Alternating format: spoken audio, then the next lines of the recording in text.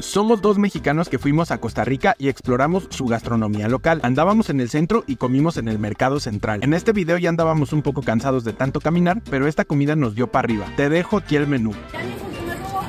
¿Qué tal la coca costarricense? Sí sabe diferente a la coca mexicana.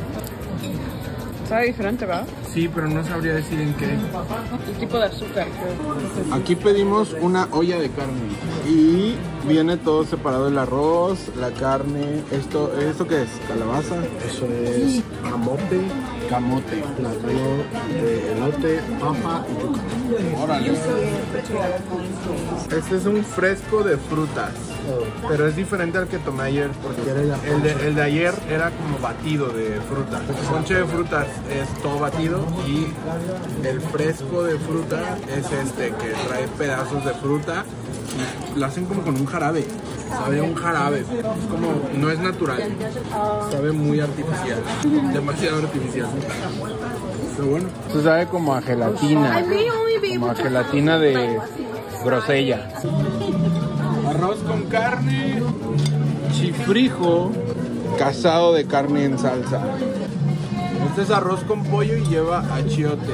Probamos un poco de todo y el arroz con pollo con achiote estaba delicioso. Mi amiga pidió la olla de carne y me encantó que todo te lo traen aparte ya que así rinde más la comida. La porción de carne era enorme y el caldito tenía un sazón delicioso. Pero este casado de carne en salsa fue de lo más delicioso que probé en todo el viaje y me encantó la generosidad de los platillos. Esta recomendación de nuestros amigos la verdad valió mucho la pena. Amigos, creo que este es el mejor casado que he probado.